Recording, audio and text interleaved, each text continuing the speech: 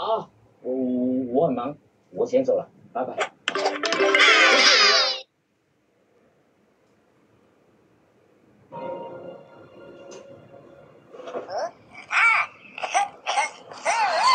现在可以做。当年那个沈家案那个审讯，试图说马让他了解丙南在出庭之前，他就知道，你是觉得这个事很可疑的吗？你怀疑归怀疑，为什么跑去我师傅？他是红人中就是沈旭明的律师，肯定知道些什么。那有证据吗？我之前去拜祭丙南，我是做这样事，是拜他的律，虽然是这样，他已经根本没有在那个事情上，他为什么是？还有那天是丙南的记忆，我也想让我知道，其实是因为他是拜祭丙南。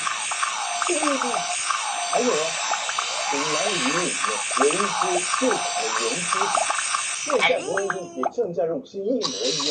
我就不相信他们俩对。你说的这一些根本就没这么影响你，这不是巧合吗？所有人都知道了。这个大件事，你为什么不先跟我说呢？你这么相信我，你又要我这么做了？如果师傅跟你心里有鬼，那他会怎么报警？这个他自己说的当然是事实是这样。我比你更清楚我师傅的为人，他绝对不是那种为了达到目的违背职业操守的律师。总之，我觉得你师傅了，跟炳南的事肯定有关。不是我不相信你，是你不自信心而已。我又告诉了他，他跟我说了以前你跟他老公的事。我明白你想请他姐妹为配对的，可是你却把错在别人身上。是这样看你。但是的话，当初也不会记得，连家也不顾，盲目奉献给你看你。原来你是真的这样看我。既然这样，你不相信我的话，那我没有什么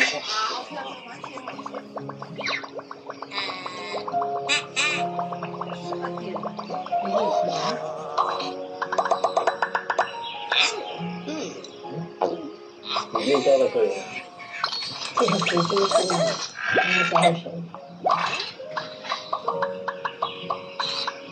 我想问你，在你心里面，你觉得我是个有担当的人吗？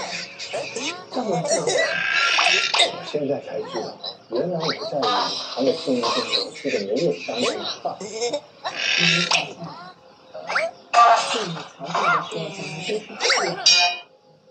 怪不得我今天气炸。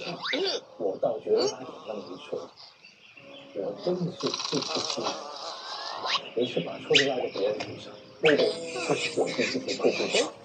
难怪他会这么看我。你刚才想说什么？